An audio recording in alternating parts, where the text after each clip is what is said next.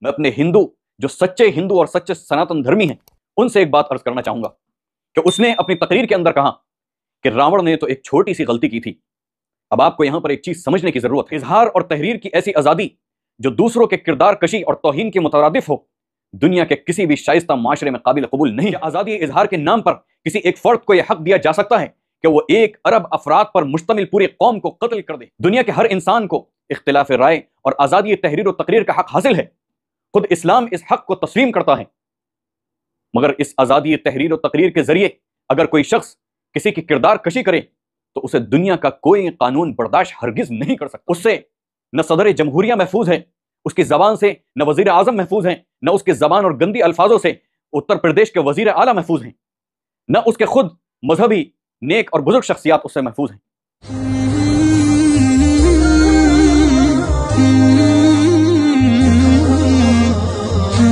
السلام علیکم ورحمۃ اللہ۔ زوال اس وقت شروع ہوتا ہے جب رسول اللہ صلی اللہ علیہ وسلم کی توہین اور بے ادبی سر راہ کی جا رہی ہو اور ہماری حمیت و غیرت مر چکی ہو۔ کیا بھول گئے وہ لمحہ جب ڈینمارک اور مغربی ملکوں میں کارٹون بنا کر رسول اللہ صلی اللہ علیہ وسلم کی توہین کی راہیں ہموار کی جا رہی تھی اس وقت ہم بیدار تھے، سراپا احتجاج تھے۔ پر امن جد و جہد کی اجازت تو ہمارا آئین بھی دیتا ہے۔ دستوری حق ہے فرانس میں توہین رسالت کی جرت کی گئی، تب بھی ہم گستاخ کے خلاف بیدار تھے۔ رشدی و تسلیم نسرین کے فتنے اٹھے۔ پادریوں اور مذہبی پیشواؤں نے بے ادبی کی۔ ہم نے شدت سے مخالفت کی۔ اپنی زندگی کا ثبوت دیا۔ زندہ قوم ہونے کا مظاہرہ کیا۔ دنیا کو یہ باور کرایا کہ ہم سب کچھ برداشت کر سکتے ہیں، لیکن رسول اللہ صلی اللہ علیہ وسلم کے بے ادبی ہر گز برداشت نہیں کر سکتے۔ ہماری کوششیں، جد و جہد، قربانیاں، اصلاحی دعوے، فلاحی علمی کام، اس وقت تک نتیجہ خیز اثر انگیز نہیں ہو سکتے جب تک کہ رسول اللہ صلی اللہ علیہ وسلم کی عزت کے لیے ہم بیدار نہ ہوں۔ میٹھی نرم شیری باتیں کیا معنی رکھتی ہیں جبکہ رسول اللہ صلی اللہ علیہ وسلم کی سر راہ بے ادبی کی جا رہی ہو اور ہم آرام قدوں میں براجمان ہوں، اپنے روز مرہ کے معمولات میں مشغول ہوں چکنی چپڑی باتوں سے لوگوں کے دل بہلا رہے ہوں۔ آج توہین کا بازار یورپ یورپ ہی نہیں، بلکہ ہندوستان میں بھی گرم ہے۔ ضرورتیں اتنی بڑھ گئی ہیں کہ سرے راہ، جس کا جب جو دل چاہتا ہے اور مجمع کے اندر بکواس کرتا چلا جاتا ہے۔ جمہوریت اور قانون کے رکھوالے اس دہشت دہشت گردانہ اقدام کو آخر کیوں برداشت کرتے ہیں؟ کیوں ان کے اوپر کوئی بڑی کارروائی نہیں کی جاتی؟ کیوں ان کے اوپر قانون سازی نہیں کی جاتی؟ گویا یہ لوگ تماشا دیکھنے میں لگے ہوئے ہیں۔ سیکولرزم کے دعوے دار جماعتیں بھی خاموش ہیں۔ مسلمانوں کی مساجد محفوظ ہیں اور نہ مکانات۔ ان کی جانوں سے کھلواڑ کیا جا رہا ہے۔ دہشت گردی کی انتہا تو یہ کر دی گئی۔ پیغمبر اسلام حضرت محمد صلی اللہ علیہ وسلم کی توہین پر مشتمل باتیں کھلے عام کی جانے لگیں۔ مشرقین کی ان حرکتوں پر قانون کی دہائی دینے والے بھی خاموش ہیں۔ انسانی حقوق کی باتیں کرنے والے بھی موسلے بیٹھے ہیں۔ اس مقام پر غیرت و حمیت دینی کو آواز دیجیے بیدار قوم ہونے کا مظاہرہ کیجیے اظہار اور تحریر کی ایسی آزادی جو دوسروں کے کردار کشی اور توہین کی مترادف ہو، دنیا کے کسی بھی شائستہ معاشرے میں قابل قبول نہیں ہے۔ دنیا کے ہر انسان کو اختلاف رائے اور آزادی تحریر و تقریر کا حق حاصل ہے۔ خود اسلام اس حق کو تسلیم کرتا ہے۔ مگر اس آزادی تحریر و تقریر کے ذریعے اگر کوئی شخص کسی کی کردار کشی کرے، تو اسے دنیا کا کوئی قانون برداشت ہرگز نہیں کر سکتا۔ چے جائے کہ سید البشر حضرت محمد صلی اللہ علیہ وسلم کی شان مبارک میں توہین کی جائے۔ کیا آزادی اظہار کے نام پر کسی ایک فرد کو یہ حق دیا جا سکتا ہے؟ کہ وہ ایک ارب افراد پر مشتمل پوری قوم کو قتل کر دے۔ یعنی پوری قوم یعنی امت مسلمہ کے قلب و روح کو مجروح کرے۔ حقوق انسانی کے مسلمہ منشور میں دنیا کے تمام افراد کو یہ حق دیا گیا ہے کہ وہ اپنی ذاتی زندگی کا تحفظ کریں۔ اور دنیا کے کسی انسان کو یہ حق نہیں پہنچتا کہ وہ کسی فرد کی ذاتی زندگی کو بلا وجہ تنقید کا نشانہ بنائے۔ ایک عام آدمی کو بھی یہ حق حاصل ہے کہ اگر کوئی شخص اس کی عزت و وقار کے منافع اقدام کرے، تو اس پر ہتک عزت کا مقدمہ دائر کر سکتا ہے۔ پھر آپ خیال فرمائیں کہ وہ رسوائے زمانہ بےحودہ انسان، اس کا میں نام بھی نہیں لینا چاہتا، جس نے پیغمبر اسلام صلی اللہ علیہ وسلم کی بار بار ان کی شان میں گستاخی کرتا رہتا ہے۔ اس سے نہ صدر جمہوریہ محفوظ ہے، اس کی زبان سے نہ وزیر اعظم محفوظ ہیں۔ نہ اس کی زبان اور گندی الفاظوں سے اتر پردیش کے وزیر اعلیٰ محفوظ ہیں۔ نہ اس کے خود مذہبی نیک اور بزرگ شخصیات اس سے محفوظ ہیں۔ ہماری جانیں اور ہمارا سب کچھ آپ علیہ سلاۃ والسلام کے اوپر قربان۔ اس کے یہ الفاظ، اس کی یہ باتیں ایک ارب مسلمانوں کی توہین کرتی ہیں۔ ان کے دلوں اور روح کو مجروح کر بہرحال یقین کے ساتھ آگے بڑھیں۔ بچوں کے دلوں میں محبت رسول صلی اللہ علیہ وسلم کا جذبہ راسخ کریں۔ ہماری تمام نسبتیں اسی وقت کام دیں گی جبکہ رسول اللہ صلی اللہ علیہ وسلم کی عزت و عظمت پر قربان ہونے کا جذبہ ہمارے اندر ہوگا۔ قوم کے جسم جسم میں حرارت ایمانی باقی رہے گی تو قوم بچے گی، ورنہ جہاں موت کا سا سناٹا تاری ہو، وہاں اگر لہو کی ہولی کھیل لی جائے۔ تو جیسا کہ مشرقین اس وقت کرتے رہتے ہیں کہ جب جس کا دل چاہا مسلمانوں کو مار دیا، ان کے گھروں کو توڑ دیا۔ ان کی عزتوں کو لوٹ لیا گیا۔ یہ ساری چیزیں اسی طریقے سے چلتی رہیں گی۔ ہم نے اگر پوری قوت کے ساتھ اپنے پیغمبر اسلام حضرت محمد صلی اللہ علیہ وسلم کی عزت کے لیے جد و جہد کی، گستاخوں کو جیل تک کی راہ دکھائی، کورٹ کے اندر سخت دفعات کے تحت مقدمے چلوائے، ان کے خلاف جمہوری دستوری آواز قوت کے ساتھ بلند کی، تو یقیناً ان کی سازشیں کمزور ہوں گی اور شوکت قوم کا اظہار بھی ہوگا۔ حال ہی میں ایک پنڈت نے گستاخی کی۔ پھر اس کے بعد اب یہ دوسرا شخص آیا ہے، جس نے پھر ایک گستاخی کی۔ اور اس نے کہا کہ دشہرے کے اندر آپ علیہ سلاۃ والسلام کے بارے میں جو بھی آپ نے سنا ہوگا اور لوگوں کو اکسانے کی کوشش کی ایسے عمل پر، یہ ساری چیزیں ہمارے سامنے رہنی چاہیے۔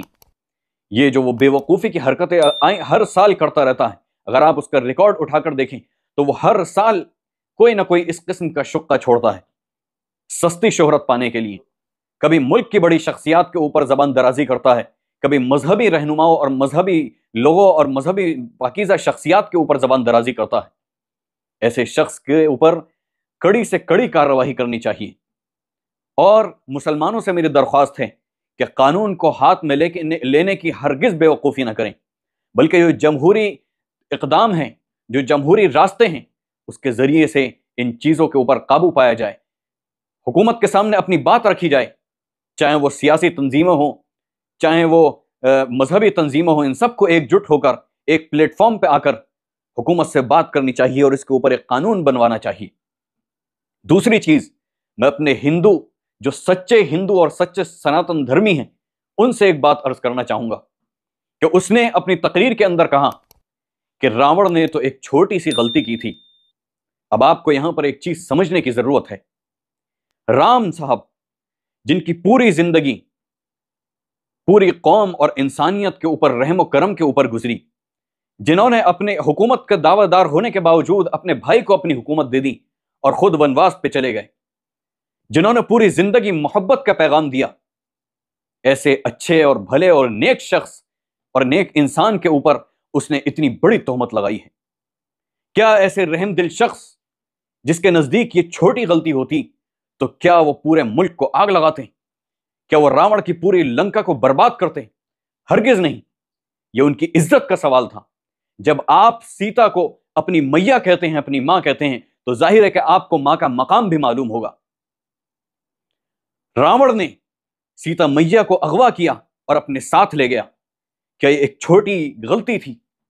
کیا کیا کسی بھی مذہب کے اندر عورتوں کا یہ مقام ہے کہ اگر کوئی بغیرت، بے شرم، بے حیا بدماش کسی عورت کو اٹھا کر لے جائے تو یہ چھوٹی غلطی مانی جائے۔ کوئی بھی مذہب عورتوں کو اس قسم کا نہیں سمجھتا جو یہ الفاظ گھٹیا شخص نے اپنے منہ سے نکالے۔ اسلام میں تو عورت کا یہ مقام ہے کہ باقاعدہ عورتوں کے نام سے ایک سورت، ایک چیپٹر قرآن کے اندر موجود ہے، سورت النساء۔ اور جگہ جگہ پر عورتوں کے حقوق بیان کیے گئے۔ اور جہاں جہاں عورتوں کے حقوق بیان کیے گئے ہیں، وہاں وہاں اللہ تعالیٰ نے اپنے ڈر کو بھی بتایا۔ کہ عورت کے حقوق کے معاملے میں، عورتوں کے بارے میں تم لوگ اللہ کے سامنے، اللہ کے سے ڈرو۔ کہیں ایسا نہ ہو کہ تم عورتوں کے اوپر ظلم کر بیٹھو، تو اللہ تمہاری پکڑ کر لے۔ جنگوں کے اندر مسلمانوں کو یہ ان کے نبی نے اصول سکھائے کہ جب جنگ ہو تو صرف اس شخص کو نشانہ بنایا جائے یا اس شخص سے لڑائی کی جائے جس کے ہاتھ میں ہتھیار ہوں۔ عورت بچے بوڑھوں کو بھی جنگ سے دور رکھا جائے اور دشمن کی عورت اور ان کے بچے ان کے بوڑھوں پر نشانہ نہ بنایا جائے، ان کے ساتھ اچھا معاملہ کیا جائے۔ یہاں تک کہ جو لوگ جنگ کے اندر موجود ہوتے تھے، وہ اگر پکڑ لیے جاتے تھے تو ان کے ساتھ بھی اچھا رویہ کیا جاتا تھا۔ ان کو پراپر کھانا پینا دیا جاتا تھا۔ ان کی صحت کا خیال رکھا جاتا تھا۔ یہ کتابیں گواہ ہیں۔ اور آپ کے مذہب میں بھی عورتوں کو تقدس بیان کیا گیا ہے۔ تبھی آپ لوگ اپنی ماں کے پیر چھوتے ہیں، اپنی ماں کو بھگوان سامان سمجھتے ہیں۔ اس شخص نے اتنی بڑی غلطی کی۔ کہ انہوں نے رام جی کے عزت کے اوپر یہ جو الفاظ کہا، وہ ان کی عزت کو للکارا ہے۔ کہ راوڑ نے تو ایک چھوٹی سی غلطی کی تھی۔ یہ لو، یہ انسان، یہ گھٹیا انسان صرف سستی شہرت کا بھوکا ہے، جس سے نہ اپنی دیوی دیوتا بچتے ہیں، نہ اس کی گندی زبان سے دوسروں کے مذہبی شخصیات بچتی ہیں، اور نہ ہی اس کی زبان سے ملک کی بڑی شخصیات بچتی ہیں۔ ایسے شخص کا آپ لوگ بھی بائیکاٹ کریں، ایسے شخص کا آپ لوگ بھی اس کے خلاف جو قانونی کارروائی ہو سکتی ہو، وہ سب کارروائی اس کے خلاف کریں تاکہ اس طریقے کے لوگ جو کبھی بھی جب جو دل چاہے، جس کے بارے میں جو دل چاہے بکواس کریں، ایسے لوگوں کے اوپر لگام اور رسی ڈال سکیں۔ آخر میں مسلمانوں سے مخاطب ہوں کہ اس قسم کی چیزیں اس لیے کرائی جاتی ہیں یا کری جاتی ہیں تاکہ یہ چیز ایک معمول بن جائے۔ اور جب معمول بن جائے تو مسلمانوں کی جو جو محبت ہے، ایک جنونی محبت آپ علیہ السلاۃ والسلام سے جو اللہ تبارک و تعالیٰ نے دلوں کے اندر رکھی ہے، وہ ہلکے ہلکے کم ہو جائے۔ جو حال یورپ کے اندر حضرت عیسیٰ علیہ السلام کا کیا گیا کہ انہیں صرف ایک مذہبی شخصیت بنا دیا گیا، کہ ان کے بارے میں اگر کوئی کچھ کہے تو ان کا خون نہیں کھولتا۔